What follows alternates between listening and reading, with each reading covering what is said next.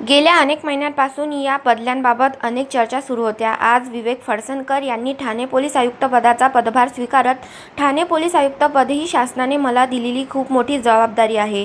जनतेसाठी डोळ्यात तेल घालून काम करणार तसेच ठाणे शहरातील वाहतूक कोंडीची समस्या सायबर गुन्हे आर्थिक गुन्ह्यांकडे लक्ष देणार असल्याचे सांगितले. तसेच मराठा मोर्चा आंदोलनानंतर ठाणे आणि नवी मुंबई येथील पोलीस आयुक्त आणि अधिकाऱ्यांच्या बदल्या होणार असल्याच्या अनेक दिवसांपासून चर्चा सुरू होत्या. मात्र झालेल्या बदल्या या शासनाने कार्यकाळ पूर्ण झाल्याने मराठा आंदोलनाशी ह्याचा काही संबंध नसल्याचे सांगत शासनाने दिलेली जबाबदारी उत्तमपणे पार पाडणार असल्याचे फडसणकर यांनी सांगितले. तर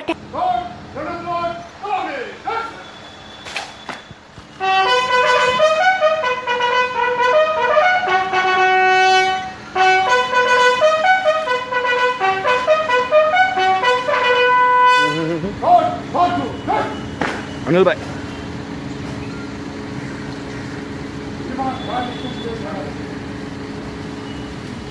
jemput jemput kamu kamu